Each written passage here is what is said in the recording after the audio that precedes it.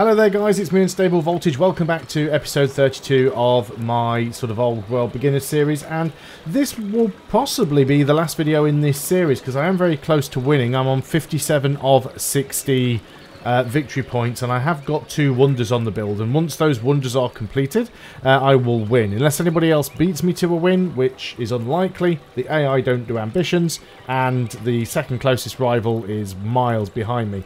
And uh, I guess the AI could win with a sort of a domination victory but I don't see that happening in the next uh, sort of 15 turns or so. So so depending on uh, how long these turns take will dictate whether it happens in this video or the next one. But I'm going to try and rush through them fairly quickly. I don't think there's much more to discover at this point, um, particularly in this game. So I don't really want the turns to take any longer than they need to. As I've said previously, uh, I will do another series after this one, and I will go on a higher difficulty level. I will also focus more on the combat side of things. Uh, specifically, uh, uh one thing that I'm interested to learn is when is a good time for the player to go to war. If you compare it to some things like Civilization, if you pick the wrong time to go to war with the AI, you can get screwed over. An early war is, against the AI is usually good because you can attack a city before it has defences. But at higher difficulty levels, that doesn't really work because the AI always starts with a massive army compared to the player. Plus, they get bonuses and things. So, you know, you literally get screwed over very, very easy. Anyway, um, we've just built the Circus Maximus. Apparently there was another wonder that I had uh, built that I was unaware of. Um, so there's that. So we're, we're, now one point away. So this could be a very, very short video. Um, we've still got an ambition to do. Wants us to get um, Bodkin Arrow. We can work on that actually and complete an ambition. I don't think we need to gain this boost here. So let's just go and work on Bodkin Arrow. Now remember that will be an ambition. It shouldn't be a victory point. Uh, we can give one... I could give one wisdom to my Chancellor, or I could always give him discipline or charisma, because he's already going down that route. So let's go and uh, sort that out for him. So yeah, I, I, completely missed that I was building that, that wonder. Uh, we can get windmills over here. Produce some extra science for a bit of stone. Sure, let's go ahead and do that. So we know for sure that we've got two more wonders in production. The next one is this one, which will be done in seven years. Now that will give me two victory points. That should be a win.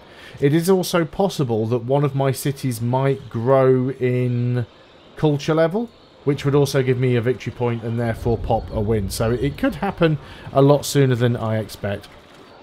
Let's quickly just cycle through the workers. I must admit, I have had a lot of fun with this game. I've really enjoyed it. Uh, I've tried a lot of games that are similar to this when looking for Civilization alternatives. And for me, a lot of them are alright, but they don't scratch that itch. And this game does. I've really, really enjoyed playing this. It, um, I think it's it's good enough. It fills the gap. It's different enough, but also familiar enough. I'm just trying to find something to do with this worker, because at the moment I haven't really got anything to do with him. He's in a city with a lot of sort of desert tiles that he can't really do anything. Let's get him heading down here. Again, a, it doesn't really matter because uh, this game is going to be over, I think, reasonably soon. So I don't really want to spend too much time uh, messing around, micromanaging my units at, at, this point when things are about to be done. Uh, you could build a stronghold there. Well, there's no reason why not to. Again, let's just sort of skip through these. This is a... I'm not necessarily sure it's a problem. I'm sure pe people very much do enjoy it. But it's something that I find in many games that are like this. Which is you really have to sort of try hard in the early game. To make sure you keep up with the AI. But then once you get to a point where you know you're going to win, you just sort of have this runaway uh, sort of lead where you can go, okay, I don't even need to concentrate on micromanaging now. I can just kind of click stuff at random. I've got 100 workers that I just need to keep busy, or my cities are constantly telling me they need me to produce something, and I don't really need to produce anything, so I'm just clicking on random stuff. And uh, Civilization very much struggles with that, and I, have noticed, particularly particularly at this difficulty level. So does Old World, but I think it's just it's partially down to the way I play. And I know at harder difficulty levels, you really do have to be more thoughtful about what actions you take. You can't just sort of pick something random, you really do have to pick the right options, otherwise it makes it very, very difficult for you. It's the same with the interactions with the families, actually. Uh, the character interactions are a nice touch, but other than events, I've not really dealt with many of them at all. Uh, I haven't done too much manual manipulation uh, with characters. I've just kind of left it to be. And uh, again, at this difficulty level, it's been fine. At higher difficulty levels, it might be something completely different. Rome gains gladiators. So they'd lose some culture to gain a little bit of training. I think we'll just um, gain the culture, actually. Professional army or volunteers. So we've got a law that we need to pick. Now, neither of these are particularly brilliant. Volunteers plus 20 training per year when at war. All cities can hurry production with population. Or plus 50% for all XP units during combat. It doesn't, again, doesn't really matter too much right now. Uh, screen went dark there for a second. I really thought it was just about to give me like a you have won kind of thing, but apparently not. So we can get cons conscripts now. Somebody did mention to me that um, a conscript is an upgrade for the militia. So you can upgrade uh, workers to um, militia and you can upgrade militia to conscripts. So we could, if we wanted to, upgrade them to a slightly better unit. And now we've got a uh, bunch of cities that aren't doing anything. So again, is there anything useful that we need to produce? I'm going to say at this point, probably not an awful lot. Again, I, sh I, should take a lot of time to go down these lists and go, well, okay, this, this one is the most useful. It's going to provide me with the biggest benefit. But, you know, once again, we're that close to the end of the game now, it hardly seems worthwhile. Let's get the crabs there. Let us get the rancher. And you completed a stone cutter. We can get a wood cutter, I suppose.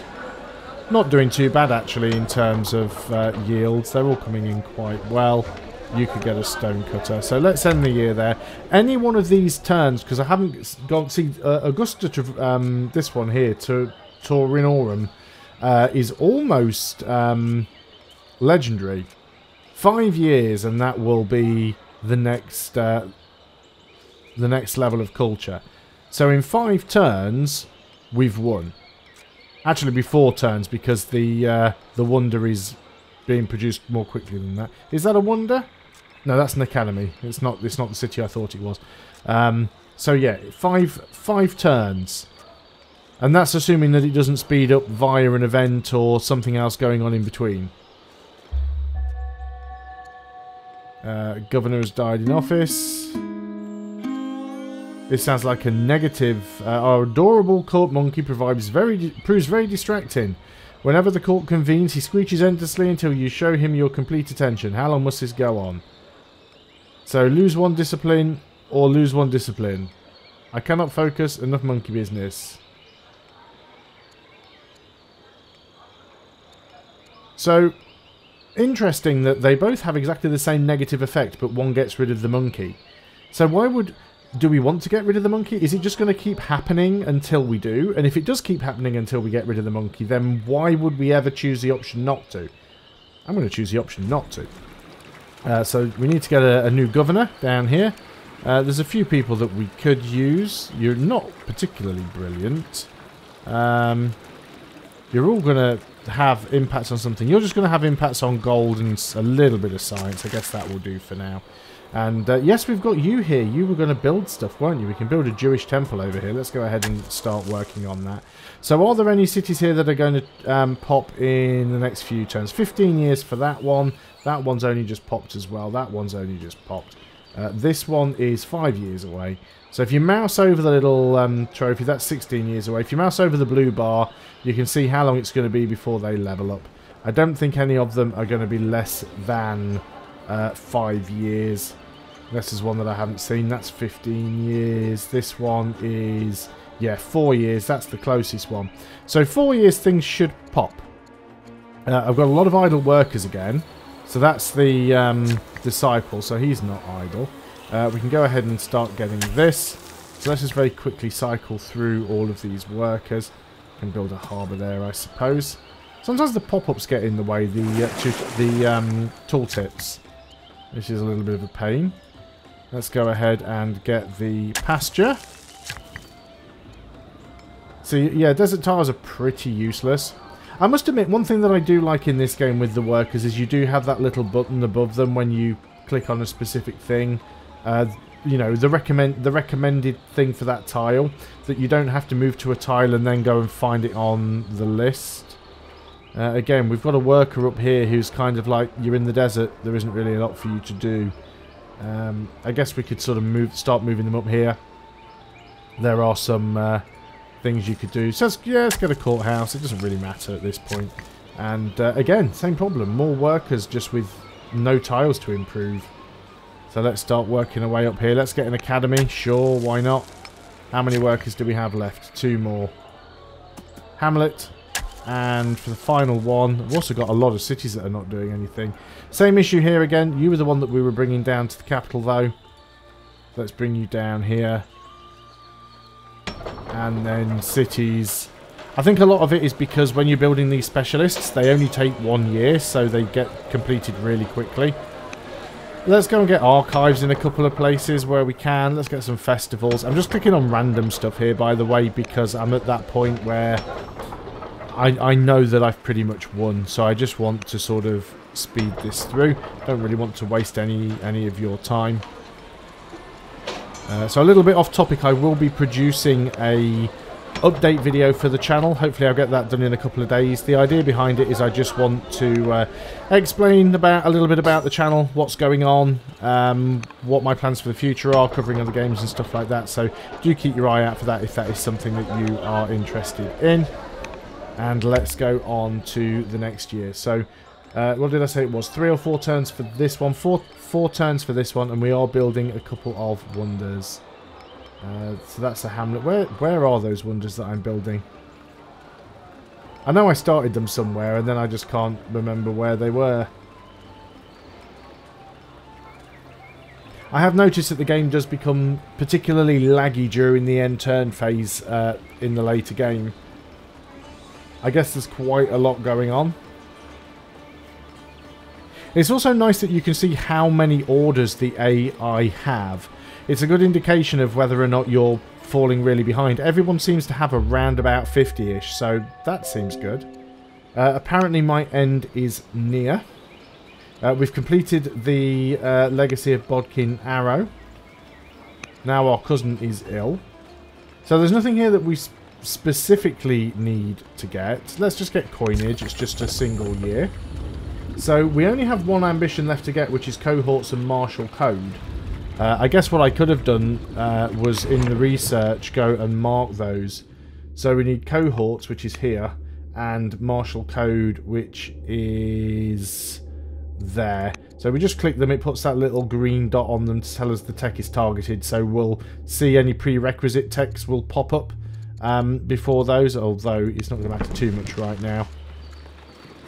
So again, a lot of lot of workers that are just not got an awful lot to do.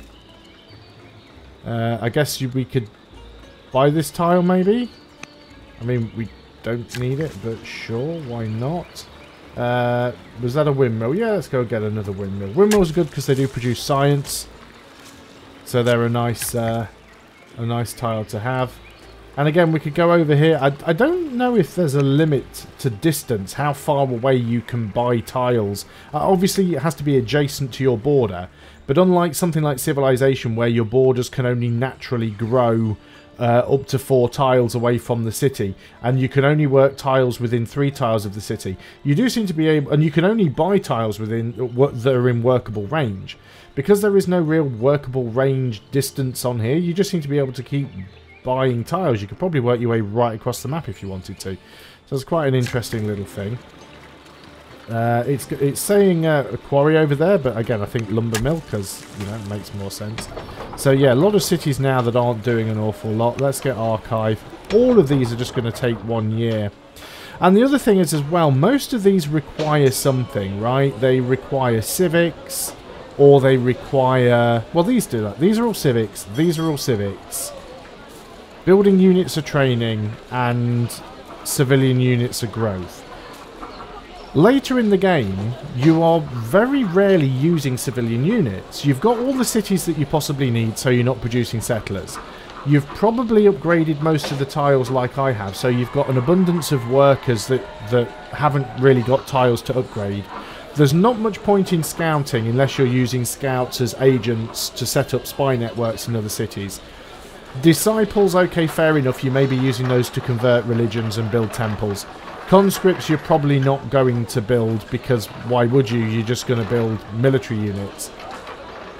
Yes, you could be building specialists, but again, specialists you're limited by the population you have in each city. And then you've got your city projects. So the vast majority of things that you're going to be building late game are either specialists or projects, and they all use civics. So civics is probably one of the most important late game resources because most of the thing most of the time your city is going to be building something that uses civics rather than anything else. So that is definitely something to keep in mind for future games that having a good um, amount of civics production later on is really important. Let's go ahead and get that master officer uh, I think now I'm just trying to pick some of the ones that uh, are going to take a little bit longer so that uh, I don't have to keep doing this to every city every single uh, every single turn Again, we should only be a few turns away from uh, from completion here. And again, I will, I will reiterate, this is my first game. So, the very first, uh, not counting the tutorial, the very first game of Old World that I played is this. This will be the first time that I've completed it. I've started other games, I've messed around, I've experimented, I've, I've tried things out. Uh, but this is the first one that I will have played from start to finish. And one of the things that I'm going to be trying, or at least trying to explain in my update video, is uh, my, methodol my methodology to making videos like this is that um, if I'm trying to provide a tutorial of something, it takes me time to learn before I can teach. And I don't always have the time that I'd like to be able to do that. So sometimes it's easier for me to make content while I'm learning rather than spending weeks learning it and then making a video. I know that's not as easy for you guys to follow but uh, sometimes it's just the option that I have. That is a lot of notifications about people that are dying. Um, that's a lot of stuff right there. So you can see we've got these notifications in the corner to say that these are both techs. Um, we're going to miss out on the money here. These are both techs that we need as prerequisites. Uh, to get techs that I need for this ambition. Uh, I'm not going to bother replacing the governors. Again, I've got six workers that are all not doing much. Um, sure, let's get you over here and, and build something. That that wants a garrison. That wants... Um, you know what? We haven't got many ministries. Let's go and build a ministry. Probably a fair few things we can build. Let's get a hamlet. As you can tell, I am pretty much randomly clicking, clicking on stuff at this point. Uh, let's get it. It says a quarry there. There'll be a minor adjacency bonus, so that's fine. I think one thing I will like to try and concentrate on when I start my next game is specializing cities uh, uh and also trying to do like the AI does, where they just have uh, might be not be able to see them here actually. Uh, but where the AI groups lots of tiles together that are saying like all of their quarries are all clumped together. Uh, well, these are mines. All of their mines are clumped together. All of their quarries are clumped together uh, for massive adjacency bonuses. So that's what I'll be trying to do. Uh, so we've got some... Um, is that us that has died? Yes, we have died. So we're now playing as the daughter. So accept a sizable donation or have a a favour from Egypt. We'll have the favour from Egypt. Um, let's gain the culture. Not that it makes a lot of difference. And yes, we want to convert to Judaism. And then we've got all the cities that need to do something again. Let's get them doing things like festivals and...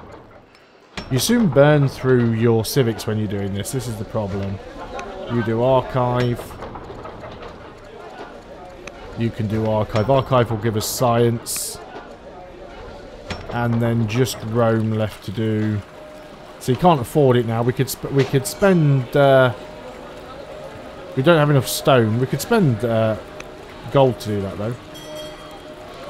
Okay, so let's end the year. How close are we now? I was sure we had another couple of wonders that I was building. That's just a quarry. Hagia Sophia, for four years. Yeah, the, that city will pop before then. Whichever city it was. This city in two years. So two turns, I should win.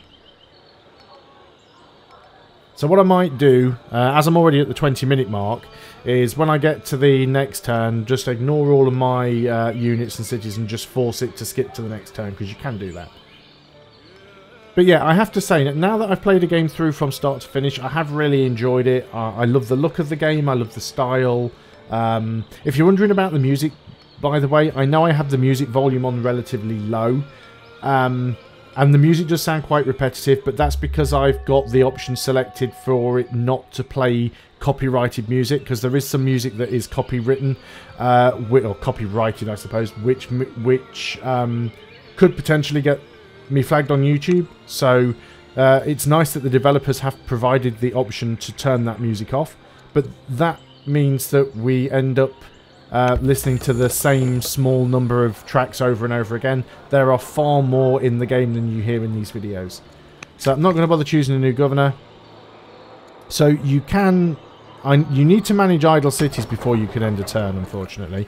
You cannot just... Um, you can you can skip your units doing stuff, but you do have to uh, manage your idle cities, which is a bit of a pain in the ass, but it is what it is. So let's just go and do all festivals where we can. I'm not even bothered where, actually. So now we're on to units. So now we should just be able to uh, force end turn.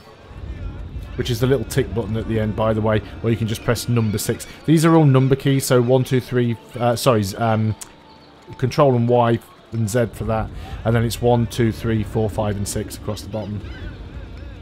So there are shortcut keys for pretty much everything, and I'd highly suggest if you are playing this game and you haven't done so already, go and have a look in the key bindings, because um, there's a lot of interesting and useful shortcut keys. I tend not to use them because if I'm show trying to show you what I'm doing, it's better for you if you can see what I'm clicking on, rather than me hitting keys that you don't see.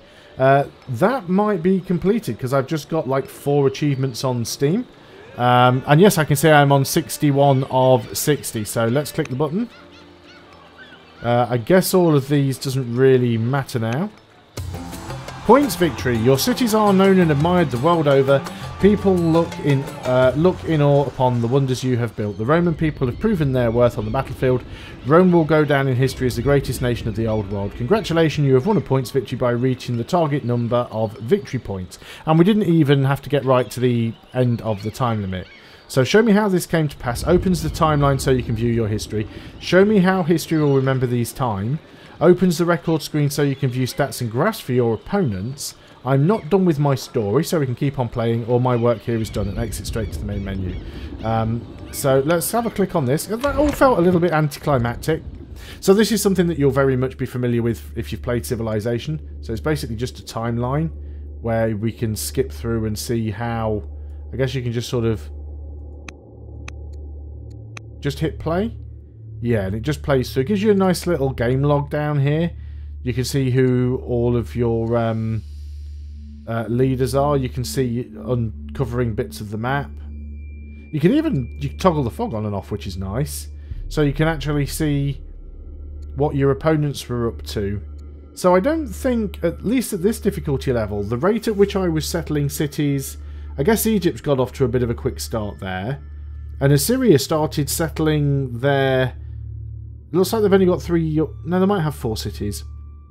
Actually, it's difficult to tell because the city the city tiles are almost the same colour as the background. They're very hard to differentiate. A little bit easier for Rome. Those purple ones pop a little bit more. But yeah, the, these ones are hard to spot. Um, and the white ones. So Carthage was a little bit slow to expand. Uh, Egypt went really, really quickly there. But yeah, I like you can do that and you can export it as a GIF. So that's quite a, a nice little thing to do. Um, let's just close that and have a look at the uh, the stats. So funnily enough, my rank in wealth was only actually third, slightly behind Egypt and reasonably behind Persia. Persia were making a lot of money, but in total population and specialists, I was first. I didn't even have the most workers. Yeah, military units, I had the smallest military. Look at Assyria, my closest neighbour. 81, is that actually units? Yeah, so total units, um, my total was 24. So I had 24 military units.